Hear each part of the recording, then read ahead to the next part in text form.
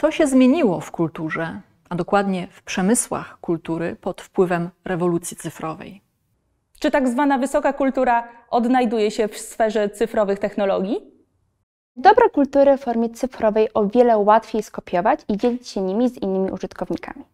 No i czy wystarczająco kusząca jest świadomość, że można stać się właścicielem jednej 100 milionowej części dzieła Picassa?